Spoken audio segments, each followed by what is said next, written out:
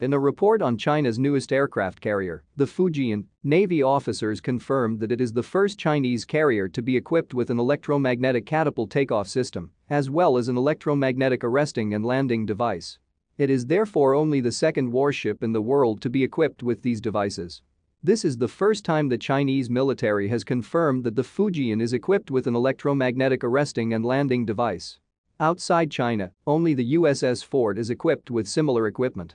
Electromagnetic arresting device than the past hydraulic arresting device requires small space, more simple, can be adjusted freely, easy maintenance.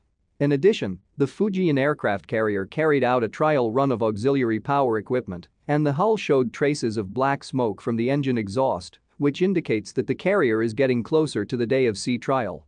In addition, the Chinese Navy's aircraft carrier support ship has been docked alongside the Fujian, indicating that sea trials are imminent. The large vessel is used to carry personnel and equipment involved in sea trials.